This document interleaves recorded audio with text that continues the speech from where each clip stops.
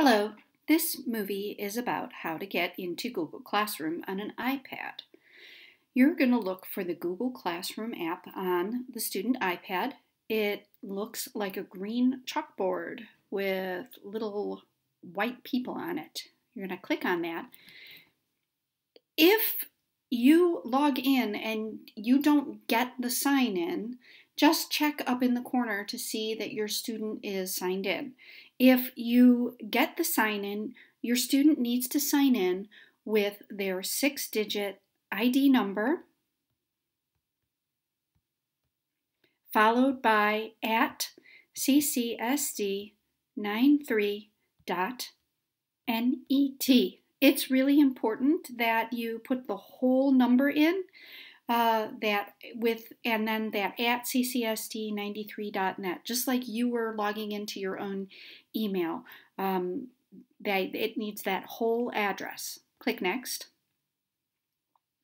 Your child's password, if it's a kindergarten through second grade student, is their last name in all lower case, their last name in all lowercase. This student is a little different, but your child's is going to be their last name in all lowercase. Click Go.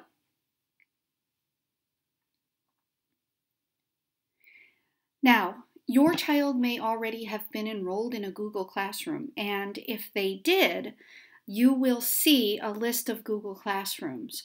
I'm going to show you how to log into or join one of the CATS classrooms from Heritage Lakes School.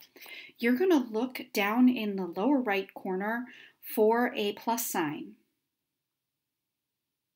It'll be in the same location even if your child already had been enrolled in a class. And you're going to see the class code and you're going to input one of the class codes that is on my uh, web page on the Google Classroom tab. That's the Heritage Lakes Innovation Center web page.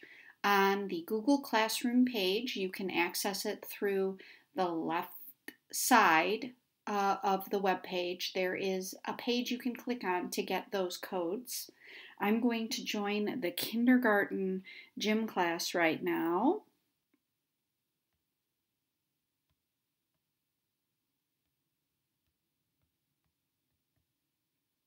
And click done.